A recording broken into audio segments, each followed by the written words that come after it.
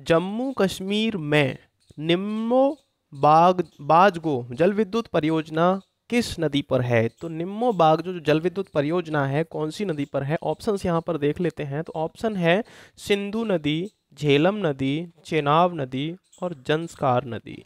यहाँ पर ऑप्शंस दे रखे हैं। ऑप्शंस में आपको बताना है कि निम्मो बाग, बाजगो जल विद्युत परियोजना कौन सी नदी पर है? तो इस, यह, इसका करेक्ट आंसर हो जाएगा आपका सिंधु नदी पर यह जल विद्युत परियोजना स्थित है। नेक्स्ट आता है गांधी सागर बाँध। जो गांधी सागर बाँध है, निम्नलिखित में से किस एक का भाग है? तो ऑप्शंस हैं दामोदर घाटी परियोजना, कोसी परियोजना, चंबल परियोजना, भागड़ा नागल परियोजना। तो गांधी सागर जो बाँध है, वह किस का एक भाग है। तो यहाँ ऑप्शंस करेक्ट आपका हो जाएगा।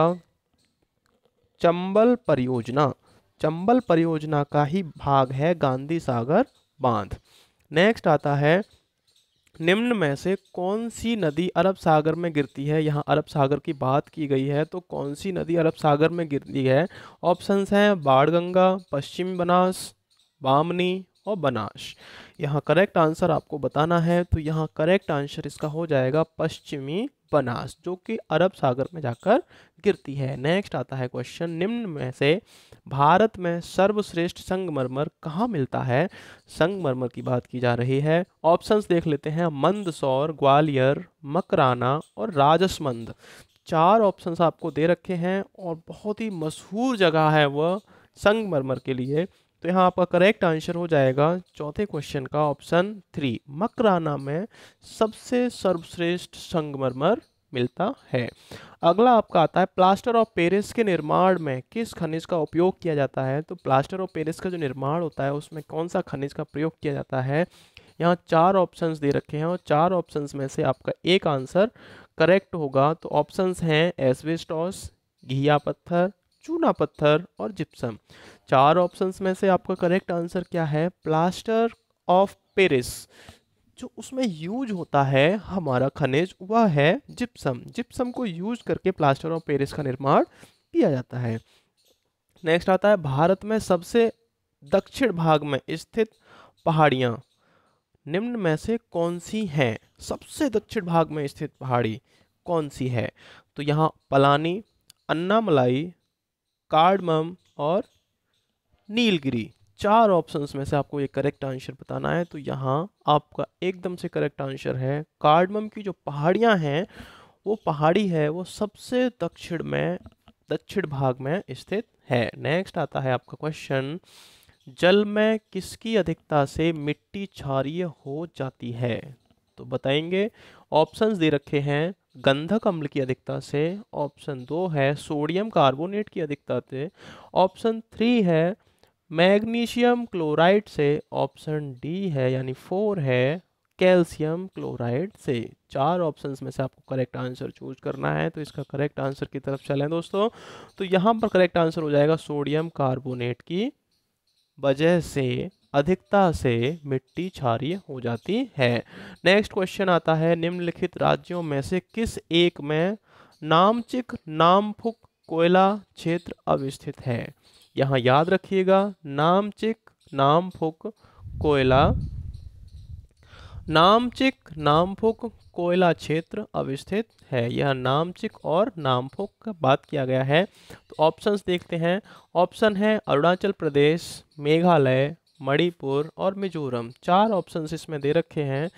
तो चार ऑप्शंस में से आपका करेक्ट आंसर हो जाएगा ऑप्शन अरुणाचल प्रदेश। एक नंबर का आपका करेक्ट आंसर हो जाएगा। तो नामचिक और नामपुक कोयला क्षेत्र अरुणाचल प्रदेश में स्थित है। अगला प्रश्न आता है, निम्नलिखित नगरों में से किस एक ने सर्वा, सार्वत्रिक स्वचालन अनुसंधान केंद्र स्थापित किया है? ऑप्शंस देख लेते हैं। ऑप्शन है हैदराबाद, चेन्नई, पुणे और गुड़गांव। चार ऑप्शंस आपको इसमें दे रखे हैं। इसका करेक्ट आंसर आपको बता दें कि चेन्नई ने सार्वत्रिक स्वचालन अनुसंधान केंद्र स्थापित किया है। तो दोस्तों, इस वीडियो में ट्वेंटी क्वेश्चंस को समाहित किया गया है। आपको यदि वीडियो अच्छा लगता है तो लाइक ज़रूर करें, चैनल को सब्सक्राइब करें। अगर पहली बार विज़िट कर रहे हैं तो और इसी तरह के और वीडियोज़ पाने के लिए वेल आइकन ज़रूर दबाएँ, जिससे कि आने वाले वीडियो का नोटिफिकेशन आपको मिल सके। नेक्स्ट आता है, हीरा उत्पादन करने में मध्य प्रदेश का देश में कौन सा स्थान है?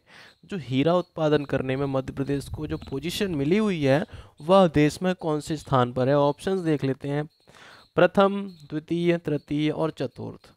यानी कि चार ऑप्शंस में से एक ऑप्शन आपका करेक्ट है तो इसका एकदम से करेक्ट आंसर है प्रथम हीरा उत्पादन में, मध्य प्रदेश का प्रथम स्थान है। नेक्स्ट आता है इलेवन नंबर क्वेश्चन है। मध्य प्रदेश में मैग्नीज उत्पादन के प्रमुख ज़िले कौन से हैं? तो मैग्नीज उत्पादन जो एमपी में किया जाता है, वह कौन से हैं? ऑप्शंस देख लेते हैं। ऑप्शन उज्जैन और गुना गुना मुरैना, अशोकनगर और रीवा बालाघाट और छिंदवाड़ा। चारों ऑप्शंस में मध्य प्रदेश के ही दो दो ज़िले दे रखे हैं तो यहाँ इसका करेक्ट आंसर हो जाएगा। बालाघाट और छिंदवाड़ा में मैग्नीज उत्पादन सबसे अधिक होता है। नेक्स्ट आता है, भारत में विकसित करने के लिए पहला आधुनिक उद्योग था। कौन सा पहला आधुनिक उद्योग भारत में विकसित किया गया था? यह आपको बताना है तो यहाँ पर ऑप्शंस देख लेते हैं। Option one, iron and steel उद्योग, सीमेंट उद्योग, घरेलू उद्योग, इंजीनियरिंग उद्योग। यहाँ आपका एकदम से करेक्ट आंसर हो जाएगा आयरन एंड स्टील उद्योग। भारत में विकसित करने के लिए पहला आधुनिक उद्योग था। नेक्स्ट आता है तबोवन और विष्णुगढ़ जल विद्युत परियोजनाएँ कहाँ स्थित हैं? तो यहाँ ऑप्शंस देखते हैं। ऑप्शन हमारे हैं जल विद्युत परियोजना के लिए मध्य प्रदेश, उत्तराखंड, उत्तर प्रदेश, राजस्थान। चार में से एक आपका करेक्ट आंसर है तो इसका करेक्ट आंसर है कि तपोवन और विष्णुगढ़ जल विद्युत परियोजना उत्तराखंड राज्य में अवस्थित है। नेक्स्ट आंसर क्वेश्चन है, भारत के किस जलप्रपात को लोकप्रिय रूप से नियाग्रा जलप्रपात के तौर पर जाना जाता है? ऑप्शंस देखते हैं, केवटी प्रपात, रजल प्रपात बरकाना प्रपात, चित्रकूट प्रपात। चार ऑप्शंस में से आपको करेक्ट आंसर बताना है तो इसका करेक्ट आंसर है चित्रकूट प्रपात, जो कि भारत में लोकप्रिय रूप से नियाग्रा जलप्रपात के तौर पर जाना जाता है। यह नेक्स्ट आता है, निम्नलिखित में से कौन सा शहर भारतीय मानक समय देशांतर के नज़दीक है? जो शहर है, वह कौन सा है जो भारतीय मानक समय देशांतर के नज़दीक है? ऑप्शंस देख लेते हैं, होशंगाबाद, मुरैना, गुना और झाबुआ। तो देखते हैं इसका करेक्ट आंसर क्या है। तो ऑप्शन इसका एक बिल्कुल सही है, होशंगाबाद जो है वो भारतीय मानक समय देशांतर के नज़दीक है। नेक्स्ट आता है, खारी मिट्टी में कौन सी वनस्पति उग सकती है? आपको बताना है। तो ऑप्शंस देखते हैं, सेवड़ घास, सदाबहार पेड़ लवड़ अवरोधी घास कंटीली झाड़ियाँ, जो खारी मिट्टी होती है, उसमें कौन सी वनस्पति उग सकती है? तो यहाँ पर आपका करेक्ट आंसर हो जाएगा लवड़ अवरोधी घास, जो कि खारी मिट्टी में उग सकती है। नेक्स्ट आता है, निम्न में से रेशम के कीड़े पाले जाते हैं, अशोक के पेड़ पर, साल के पेड़ पर, नीम के पेड़ पर या सहतूत के पेड़ पर।